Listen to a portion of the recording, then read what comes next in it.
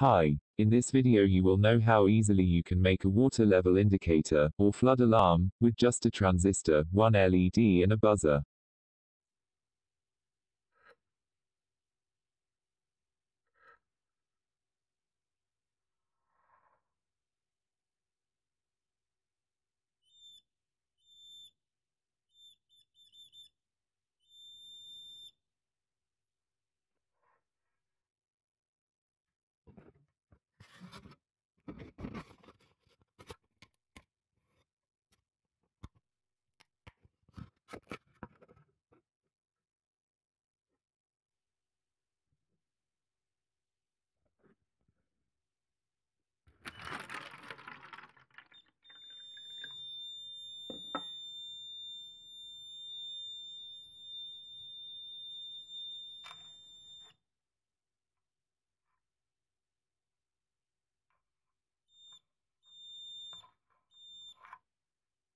I hope that was helpful for you, and thanks for watching.